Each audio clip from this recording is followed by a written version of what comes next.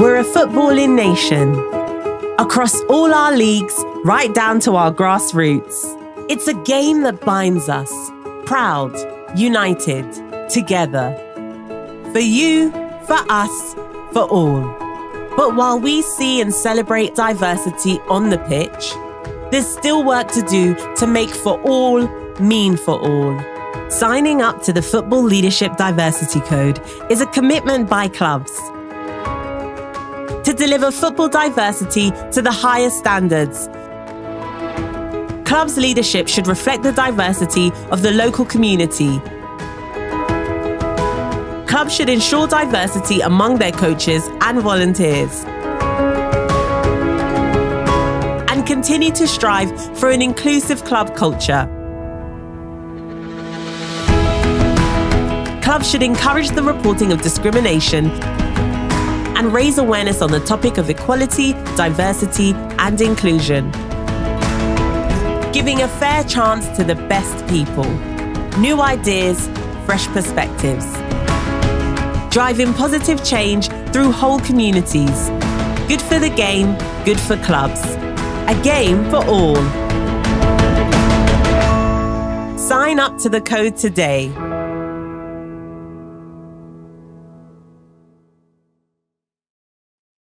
Hello and welcome to the first of five Football Leadership Diversity Code sessions.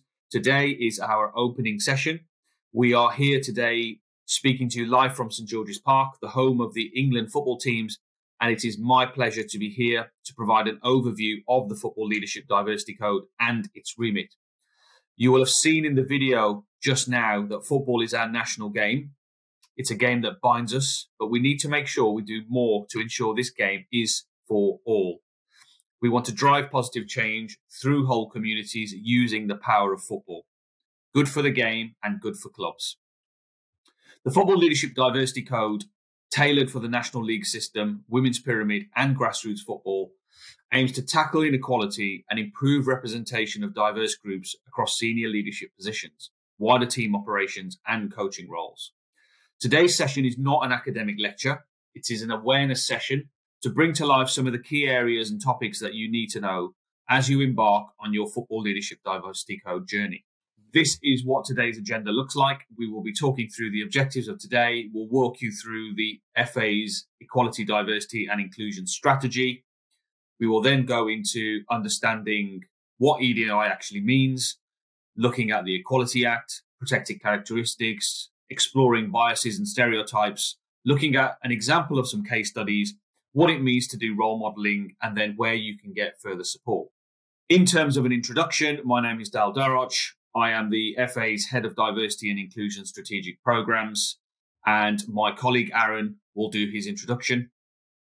Thanks for that, Dal. So, my name's Arran Williams. I'm the FA's Diversity and Inclusion Manager, and I've been here for just over six months now. So, today's session objectives there are really three things that we want to do. One is to train and educate you as stakeholders about EDI and the Football Leadership Diversity Code. So you understand exactly where we're coming from, what we're trying to do, and how we're going to go about achieving it. We want you to develop awareness of protected characteristics. We want you to improve your understanding of EDI and really appreciate what we mean by difference. And we want you to understand some of the best practice that we're going to share with you today and for you to really understand what allyship in football is all about. So, the FA strategy. Many of you will have seen already the FA strategy, which is called A Time for Change. It was released in 2020 and it really focuses on these six key game changers that you can see in gold in the gold background there that we are trying to achieve across football as a whole. So we are wanting to unite the game and inspire the nation. We want to change the game to maximize its impact and we want to serve the game to deliver football for all. When we talk about changing the game and maximizing its impact, you can see some of the key things there that we want to achieve as part of what we call our game changer objectives. Number one is to, to win a major tournament. We want our England teams to win a major tournament, uh, whether that's the Lionesses and the men's senior team and all of the other professional um, development squads that sit beneath our senior squads. We want to serve 2 million plus players and, and the workforce through a transformed digital platform. We want to ensure equal opportunities for every girl to play at their school um, and club. We want to develop or, and deliver 7,000 quality pitches. And we also want to maximize the appeal and revenues of the FA Cups and the WSL. The game changer that you can see circled underpins everything we're trying to do, which is to use our influence as an FA, as a governing body, to deliver a game free from discrimination. That is an absolute key priority for us um, as, as the governing body of football in England. We want to make sure that we can deliver a game that's free from discrimination and do everything in our power to make that happen by enabling our stakeholders, the clubs, you know, the various organizations across the game to do everything that they need to do to also deliver a game that's free from discrimination. Underneath, you'll see a load of serve objectives. So things such as developing high performing workforce and cultures across football, across the FA, delivering world class venues and events, building a clear brand identity and strong reputation, and being driven by technology and being insight driven.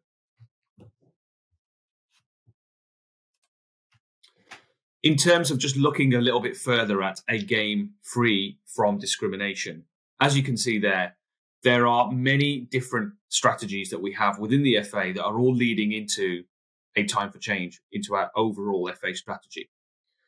You will have seen already the recent release of A Game for All, which is our equality, diversity, and inclusion strategy that came out at the end of October. That strategy moves on from our three year strategy from 2018 to 20, 21, which was called In Pursuit of Progress. I would encourage you all to read A Game for All because that really does guide us for the next three years on what the FA is looking to achieve across all aspects of the game when we are looking at equality, diversity, and inclusion and anti discrimination. We also have, of course, our Inspiring Positive Change strategy, which is our women and girls strategy. We have the Survive, Revive, Thrive strategy, which is our grassroots strategy. And we have the recently announced Football Your Way, our recent disability strategy, which also came out in recent weeks. So, the Football Leadership Diversity Code and its background.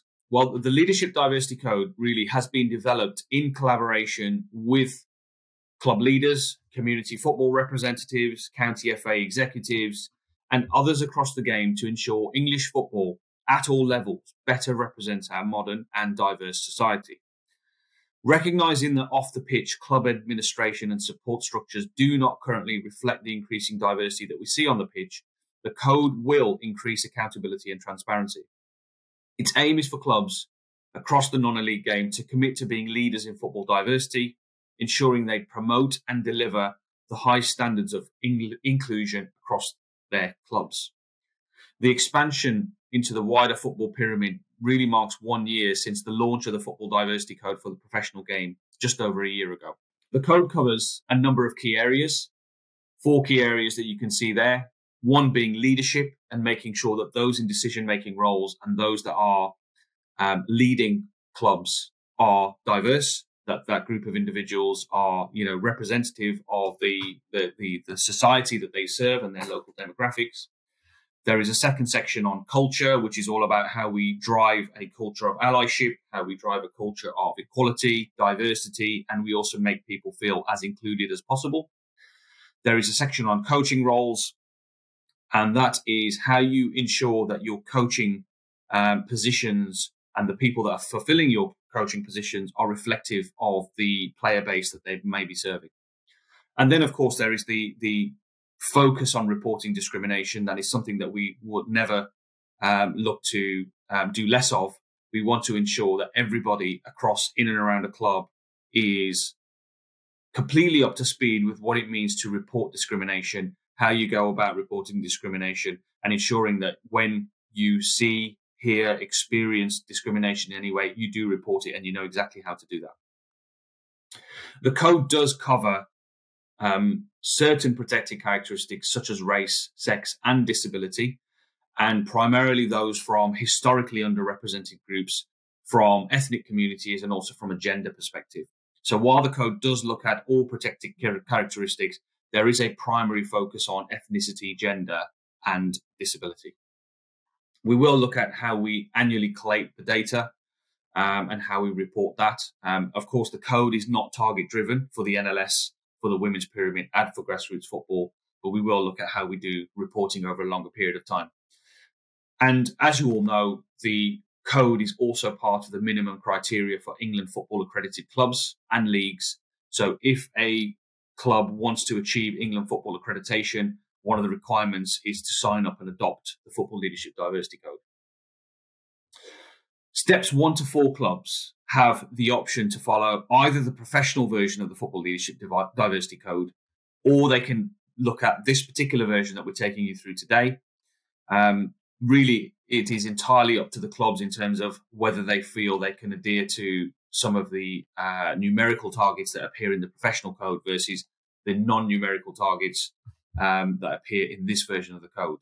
Um, that is a, a, choice that National League System clubs can make depending on where they sit in the pyramid. For clubs in the grassroots um, space, of course, you have your local county FAs to lean on for support, um, as well as leagues where you need to. So, just in terms of understanding the code across the game, as you can see, for grassroots clubs signing up to the code, we really want to ensure that there is a serious intent to embrace diversity. So, the professional diversity code really does sit at the top of the pyramid. And as you can see, as we move into step two and below, kind of step three onwards, you can see that the number of volunteers then significantly shifts. And of course, you know, we, we are aware that um, many volunteers run a lot of our national league system clubs, a lot of our grassroots clubs, you know, etc. And so that is where this code then kicks in. Uh, and of course, this code is not um, target driven, as I've said. So, in terms of the Football Leadership Diversity Code in the professional game, that was launched in 2020. Over 50 clubs have signed up to that professional code so far. And of course, that code, as I've said, includes targets for signatories for, for senior leadership, for coaches and other roles um, for both ethnicity and wider diversity. There is, of course, a central recruitment portal available for clubs to also ensure that they are posting jobs and that it's very transparent which jobs are available. That is also the case for the grassroots version of the code, the National League system of the code that we are talking about today. To learn more about the professional code, you can, of course, look at fa.com um, at the FLDC careers page um, and the FLDC webpage, and you can learn more about how the professional version of this code has evolved over the last year. I'm now going to pass over to my colleague Arran to talk to you further about why we need to focus on equality, diversity, inclusion, and what that really means for us. But from a point of view of wider society and, football in particular, why do we need to focus on this? And I think I'll start with two the, the two green boxes at the bottom of this slide that covers off. You know, if we look at disability football teams, they've grown sixfold uh, in the past 10 years. And if you look at women's and girls playing football, the population has grown, uh, doubled in the last three years. And for us, diversity in football requires attention. And that across all of these areas, the, if we have diversity within them, it brings ideas, it brings new perspectives, it allows for cognitive diversity and constructive debate. It allows for improved output and decision making because actually people bring not only professional outlooks, but personal perspectives and lived experience. And as part of this, actually, what, one of the things that we're hoping to achieve is that that we provide you with an opportunity to access more talent, to access more diverse backgrounds, and be able to make those decisions to meet the needs of, of the changing face of football and of society as well.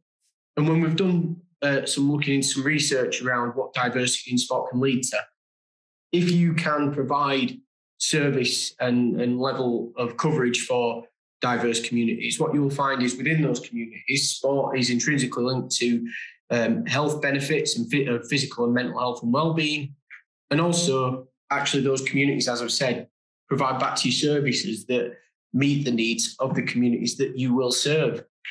So, starting with the demographics of the UK, and I think it's worth saying that um, in the next year or so, we should be seeing the most recent census data populated to us. You'll see there very clearly that the number of historically underrepresented ethnic communities has grown in the UK almost a, a doubling of the pop, Asian population, a 50% increase in the black population, and near double of the mixed population of Britain. And across all of that, of course, football is intrinsically linked into what um, into into from from this into society. So society, what happens in society will come down into football. And what we would like to think is that by doing this and, adopting the FLDC, we'll be able to you'll be able to meet the needs of those communities. But it won't be alone. What we'll do is also provide you with the long list of pieces of, of information on there. So everything from the promotional resources for your clubs, some social media assets to put out online as well to draw more people in, a number of templates uh, to recruit, uh, support your recruitment, a jobs board for you to share vacancies that may, for some of you that may be paid, but also for volunteer opportunities. I think it, it's always uh, worth saying that the sheer number of hours and time and resource that volunteers give up for grassroots football, the National League system, and the women, women's pyramid will never cease to amaze me. Guidance uh, on monitoring club diversity. Again, we appreciate you're not. Um, some some people aren't experts in this area, and that support can really help them. A template on a club equality policy to make sure that the club meets all the needs and the criteria is set out training available that is uh, specific to diversity and trackable through your fan number, so it's registered against you. And a template for an annual internal club survey, so you can really get to understand what are the people at your club thinking, what do they value, and how can you work with them upon that, whether it's both from a development point of view or a positive point of view. And lastly, but no means leastly, uh, reporting resources and videos to for you to share to make sure that you know if there is uh, any acts of discrimination, whether it be internal or external, you can support the people who are the victims of that in reporting that to ourselves. So there was one provided for the um, professional game, and within this, you'll see also one provided for the grassroots game as well. And within that, you'll be able to look at job type, you'll be able to filter by whether it's paid or voluntary, you'll be able to look at the location of it. And hopefully, what we can see here is a centralized portal where you can, um, whether you are somebody advertising or whether you are somebody looking for an opportunity, an opportunity of experience or an opportunity to maybe change career and move into football, this will all be available for you through the grassroots um, leadership code uh, jobs board, and similarly through the through the professional game one as well. It's the professional element of the clubs. Okay, what you can see here is uh, an overview of the Football Leadership Diversity Code. This is what you would see in my portal um, under the Platform for Football system. In order for clubs to adopt the code, of course, you need to open up the code in uh, the PFF platform and then download the version of the code that exists there, which is what this looks like, and then hit the adopt button in order to log that the club has now signed up to the Football Leadership Diversity Code. As you can see, and I mentioned right at the beginning, there are five key sections of the code itself. There are no targets in there. It's not numerical. There are no percentages to, to reach or any quotas or anything like that. This is really about committing to being football uh, football leaders, um, to being leaders in diversity in football, ensuring that you promote um, and deliver the high standards across your club. So, in summary, as you can see, there are five sections, one around club leadership. And club leadership really does mean clubs, committees, or anyone who makes day to day decisions concerning the running of the club itself. So, there's some of the things that you can see on there includes ensuring that your leadership reflects the local population in terms of gender, ethnicity, disability, and other historically underrepresented communities, that you are ensuring the equality of opportunity for all, that you are carrying out selection based on merit only um, while seeking to source volunteers from a diverse pool of talent. The coaching selection, coaching and selection, um, number two section is really about how you commit to ensuring diversity within your volunteer coaching workforce. That's making sure you support individuals from historically underrepresented groups, that you select coaches openly um, and encourage those from, diver- from a diverse range of backgrounds to coach within the club really want coaches to reflect the player base. The third area is around culture. So that's making sure you have a club equality policy in place, which promotes ED, ED&I, that you are ensuring that all your club officials attend the FA's equality and diversity online offerings, trainings, refreshers, etc. That you are signposting all of your members to the FA's equality, diversity and inclusion online trainings, um, and that you're just monitoring the cultural progress um, through the annual club survey that the FA will be providing. The fourth section on reporting discrimination is really about encouraging the reporting of discrimination. And how do we do this? Well, we will continue to distribute information on how you report discrimination, um, whether you are, a, you know, a, club representative, whether you're a player. We want all club members um, to ensure that they know exactly how to report discrimination we want to also, you know, acknowledge that um, clubs in some instances uh, will also need to contact their local police, uh, will need to log a report uh, with their local police, but also to report incidences through their county FA, um, and of course through the Kick It Out and through the FA. And there are, you know, many ways in which uh, discrimination can be reported, and all of that information is, is available through the code. And then finally, just raising awareness. You know, we want clubs to use the FA's diversity code, all the resources that are available um, to really try and raise awareness within your club environment to ensure that every person, whether it's a child, adult, parent that comes through the club is feeling part of the club and that they feel included. You know, the inclusion piece is really important. We'll come on to that later. If a club is looking to understand their local demographics, then each club can receive a breakdown of local diversity data from their local county FA for comparison purposes. So any club that is really interested in understanding what does the diversity in my region really look like, you are able to contact your your county FA and they can give you that information based on some of the reporting tools and data that we have available. So as I mentioned, this is what um, the access to the code looks like within the club portal. Um, there is a section called documentation, as you can see highlighted there. There are a number of FA policy templates that sit in this space the Football Leadership Diversity Code, the FA Safeguarding um, Children's Policy. You can see the FA Safeguarding Children's Policy for adults uh, with adult teams with under 18 players, and of course the FA's Equality Policy. What you need to do is, if you are a club representative or somebody from the club that has access to this particular system for your club, then you can hit the adopt button and that will give you a download of the code itself and then give you access to all of the the various um, points of information that will help you on your FLDC journey. First and foremost, with the Equality Act, and that's an act of parliament that brought together various anti-discrimination acts and regulations in the UK. So, if, in effect, it is law. It legally protects anyone from discrimination in the workplace and in wider society. You'll be able to see in the green box at the bottom there a definition from the Equality Act of what discrimination is. Um, and within that, within the Equality Act, there are nine protected characteristics. So they are race, disability, age, um, gender reassignment, religion or belief, sex, sexual orientation, marriage and civil partnership, and pregnancy and maternity.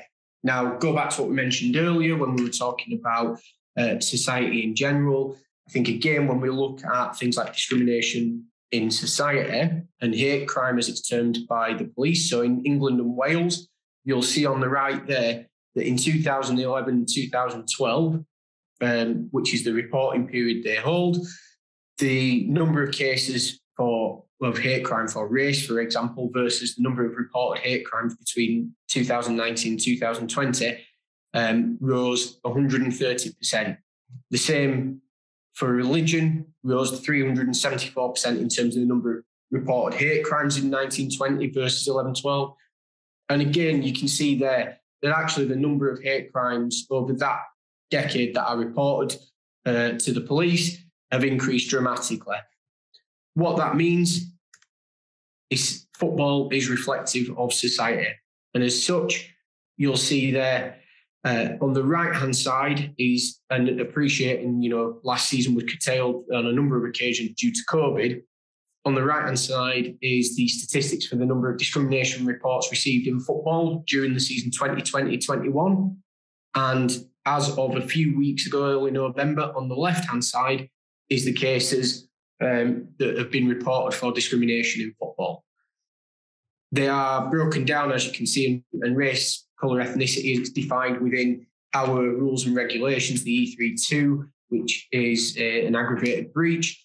Um, shows that race, colour, and ethnicity are mile uh, significantly above many of the other uh, characteristics that are reported against. But nonetheless, there are increases virtually across every single area. Now, on slide changes, how can this sometimes manifest itself, but not necessarily in the most overt way? It can look at things, we look at bias and stereotypes, or specifically unconscious bias. And unconscious bias, I know we said we wouldn't almost lecture with this. So if you want to go away and read read up on some of these pieces, that I think that would be a fantastic starting point. But a very brief intro to them um, is that actually with an unconscious bias, you can be influenced around uh, almost how stereotypes look to you. So you can be influenced around gender and sexual orientation, race, uh, disability, or social background. And it, we make so many judgments on a day to day basis based on the sheer amount of information we have that actually we, we can make uh, biased decisions even without thinking about them. We can, which is therefore unconscious bias. Um, we all hold them, but actually it's been about being aware of them. So have a think about that as you as you go away from here. And similarly, stereotypes, which you know, as it says there, is an overgeneralized belief or assumption about a particular group of people. And it may or may not be true, but these assumptions can often lead to othering and exclusions of groups, sometimes intentionally and sometimes unintentionally. And here we are. So, what we want to do is present to you a couple of case studies that we've um, identified across the women's pyramid, the National League system, and grassroots football. So, first and foremost, we've got Mike Pieri on from Omonia Youth, who's going to talk to you about his football club and why the FLDC is important to them. Mike, if you're on. So, Mike, if you could just tell us a bit about Omonia um, yep. and also about why the FLDC is important to yourselves.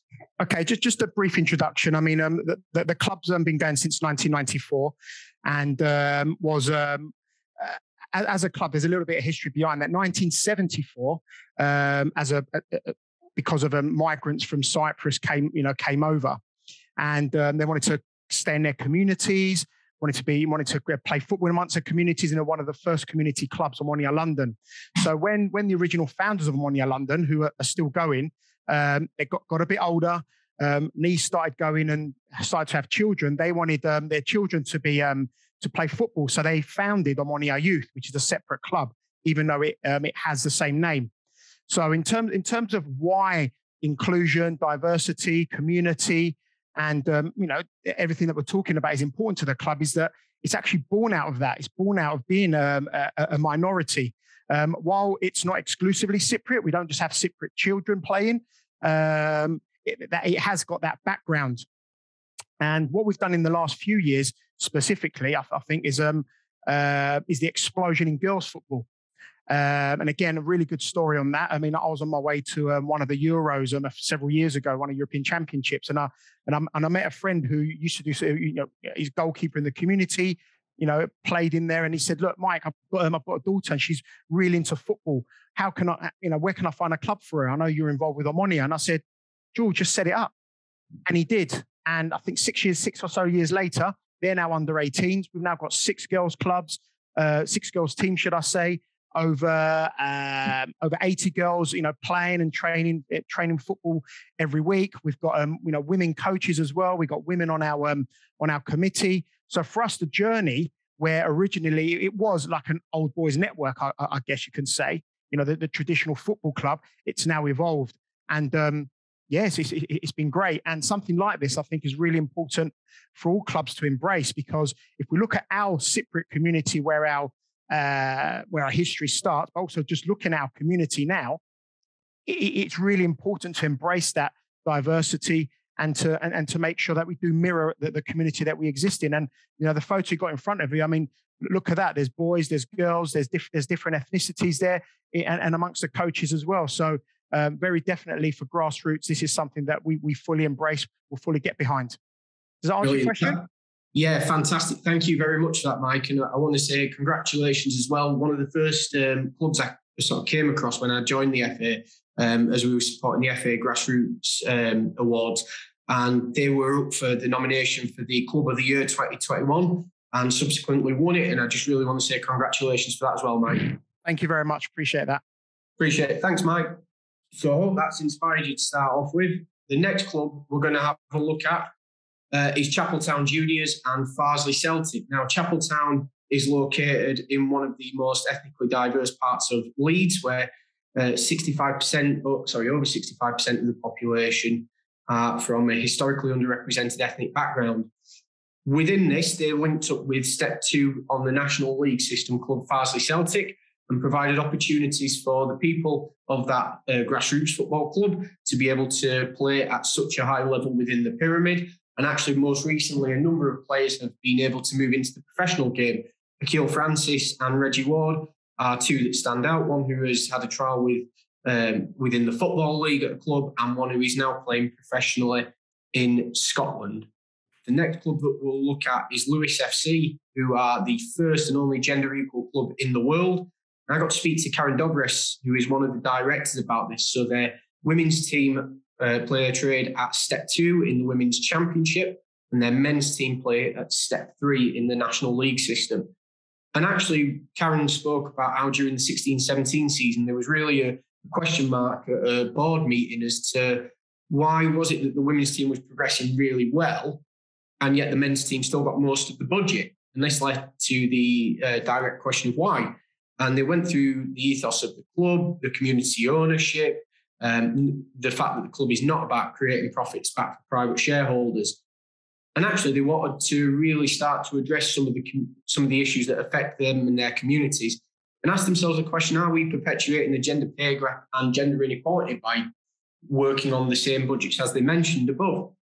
What they've since done is brought brought both budgets in in in line with each other, so they actually offer equal budgets to both the men's and the women's team. They're a real shining light in that sense, and I would suggest anyone you know who wants to have a look at Lewes FC to pop onto their Twitter page. It's a fantastic resource to use. The next club we'll look onto is Barton Inclusive FC, and I'm delighted to be joined by Sophie, um, who is the person who set up Barton Inclusive. And Sophie, again, just a couple of minutes, tell us about Barton Inclusive and why the FLDC is important to you, to you as a club. Brilliant. Thank you, Arran. Can you hear me okay? Is it all working? Yeah, perfect. Brilliant. Um, hello, everyone. I hope you've had a brilliant day. Um, it is actually signing out time at college, so I do hope that you can't hear any of the um, the noise from outside. So um, yes, my name is Sophie. Um, in 2019, I um, I founded a club called Barton Inclusive Football Club, um, with the goal to ensure football was accessible for all within the small town where I live, which is Barton upon Humber um, in Lincolnshire um, with a focus on players with a disability, additional need, or who suffer from long term poor mental health. And most importantly, ensuring that the football offer and provision was authentic, it was competitive, and it was true to um, the beautiful game. Um, Barton Inclusive FC's values are respect, teamwork, family, um, inclusion, diversity, and together. Um, these values were decided by our players. Um, and our players are truly embedded in the club and involved in every decision making process that we make. We empower everyone within the club um, to aspire to set their own goals and work collaboratively together um, to achieve their dreams. That's both players, and volunteers. Now in November 2021, um, I'm really proud to say that we have over 120 footballers at our club. Our youngest is a five year old Wildcat, and our most experienced player um, is a 78 year old walking football player. Um, within this, we also have four teams who play adult and youth football within the disability football framework. However, we do currently have to travel outside of our county to do so. Um, as a club, uh, we recognise that we're unique and specific in terms of the players we engage with. However, we truly believe that football can and should uh, be welcome to everyone so that they can train, develop, and improve the lives um, of all players who have a passion for football, irrespective um, of their disability or experience. Um, what we've achieved at a specific inclusion club, um, I think, has been necessary at the moment in time for our community. We genuinely believe that every club um, has the potential to support and engage with um, a network of disability football to ensure that the football offer is reflective um, of their own communities. And this is why we're moving forward um, with a partnership with our local non league semi professional football club, which is Barton Town, and, and why I believe um, that the Football Leadership Diversity Code and its expansion to the grassroots game is a significant and important step um, in ensuring that football truly does reflect uh, the modern day society. um, reflecting on our journey. Um, we have players that are now officials, players that are now coaches, and players who are now valued committee members. Um, this has impacted on their lives, it's enhanced their employment opportunities, and it's contributed to an improved well-being, um, self-esteem, and confidence. Um, and without our club, these opportunities wouldn't have been available for these individuals locally, and in turn, um, they wouldn't now be involved within the grassroots game as qualified officials and coaches. Um, football clubs across the whole of England are central to their community, and in some cases, the real heartbeat of their areas. Um, and this is why striving for a more inclusive culture will have a far greater impact than football, as we've seen at Barton Inclusive Football Club. Um, I think the code will help support and guide clubs to truly meet the needs of their communities, and through this, as we've seen with Barton Inclusive, Football Club, uh, lives will be changed and people will be empowered through football. And before before I finish, um, I'd just like to um, read out a quote actually from one of our players, which I, I think will probably be more impactful than myself. So uh, this is from one of our players. Uh, before I joined BIFC, I was lost. I had gone through an awful time and hated going outside or socialising. From the moment I met the volunteers and everybody else at the club, I immediately felt part of a family. This football club has helped me become more confident and a lot more outgoing. I've achieved a new role in my employment I didn't think was possible. Everybody at the club is part of a big family, and everyone in our club is part of that, no matter what role you play. Um, so, thank you so much for listening and, and allowing me to speak today. And uh, I hope you have a fantastic rest of the day. Thank you. Thanks a lot for that, Sophie. That was absolutely fantastic. And just, you know, thank you again for, for doing what you do at Barton Inclusive. Thank you. Thank you very much.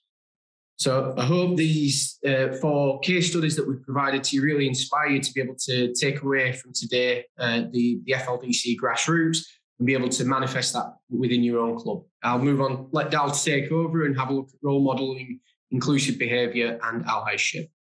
So when exploring role modelling um, and looking at inclusive behaviour and allyship, we want to ensure that every single person in the club is an ally is role modeling the right behaviors that really does promote inclusion. And what is an ally? Well, an ally is somebody that stands up for everybody, stands up for all people to ensure that people feel valued and included within the club or league. That is, you know, anyone from different backgrounds, anyone that might have different, different experiences, lived experiences to us. It's how we create connection between us and others. An ally is also somebody that normalizes inclusive language and behaviors and brings the best out of everyone around them regardless of who they are, regardless of what their characteristics are, um, regardless of whether they are from a different part of town. You know, it makes absolutely no difference. And an ally also focuses on fairness and lets everyone have a voice, um, and also actually stops um, others from doing anything differently. You know, and that requires courage. That requires people to continue to shut um, others down that perhaps are not doing the right things, perhaps not giving everyone a voice. Um, you know, we want everyone to feel comfortable. There needs to be a level of confidence when people come into your club. Um, and that's where we're trying to lead to. So, you know, really do ask yourself the question, are you an ally within your club or league? What do your values look like? Are you demonstrating the right behaviors? And are your actions then, you know, reinforcing your values and behaviors? Are you closing down or at least um, encouraging people to do the right things and also discouraging them from doing the wrong things? Which is uh, you know sometimes can be seen through microaggressions, can be seen through you know people not making certain people feel welcome. There can be many ways in which this manifests, but we do want clubs to really think about how they are role modeling inclusive behavior and demonstrating allyship. So, being a positive role model and ally really focuses on four key areas. The first one is around how you showcase inclusive behaviors you know that is about personalizing making sure that you are modeling um, and you're trying to advance inclusion by really modeling authenticity and concern for the well-being of others that you're engaging others in respectful but tough conversations and that you're being aware of unconscious biases and you're listening and valuing other people's viewpoints you're also experiencing and being aware of cultural context and building teams with diverse thinking and cultural context could be a whole variety of things. It could be where you live uh, in the local area. Some parts may be different to others. It could be that you belong to a different community. It could be that you're from one of the historically underrepresented communities. You know, really does. It could be from that you're from the, the LGBT community. There are many ways in which we can look at cultural context.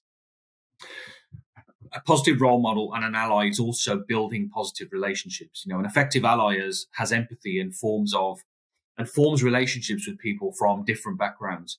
They encourage this by promoting networking and mentorship for individuals of different backgrounds and perspectives, and they engage everyone in inclusion focused activities, regardless of who they are, what their identity is, or what their background is.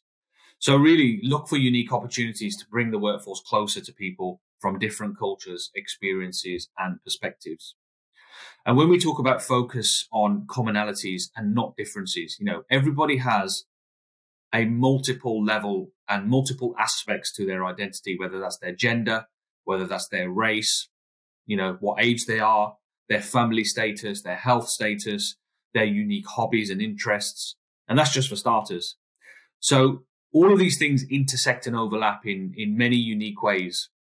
So defining individuals by really more than a single identity, you know, we, we are more than one, just one identity. So we don't really want to force people into one box. And it's essential to, to really cultivate allyship on that basis to enable people from different cultures, experiences, and perspectives to learn about one another and discover how their identities intersect and overlap.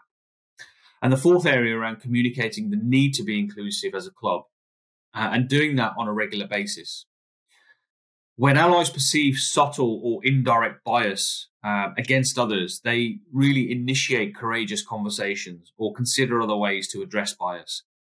Allies really role model inclusive behaviors. They ask questions and they encourage others to do the same. And if they perceive that a statement or an action is not inclusive, Allies share solutions that would make the situation more inclusive.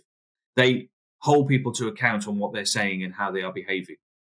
And where we're getting to is, is as you can see in the, the green boxes, we're moving from purely diversity to inclusion and belonging. Diversity is purely the numbers, you know, the number of uh, different types of people that you might have. You know, it could be really diverse in terms of the number of players that you have and where they're from and the different backgrounds that they have. But are we truly getting the best out of them?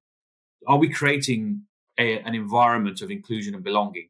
Do the people that perhaps are from a um, a, a community perhaps that is less represented in the community in the local area, do they feel that they are included in what's happening in the club? How do we bring them in? How do we make sure that any community, regardless who they are, where they're from, are feeling like they can be their true selves within your club environment and that they're confident to be their true selves. And that is where we are moving from the diversity piece to really creating a, a environment of inclusion and belonging. That's really where we need to get to.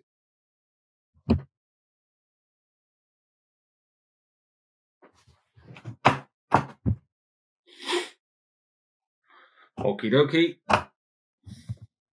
That's 27, 28, 29, is also me. Okay, let me carry on with that one. And then 1331 is Arran. Then I do the close. Okay. 29. Okay, let's do that one. I don't know if this is as good as the first time, if I'm honest.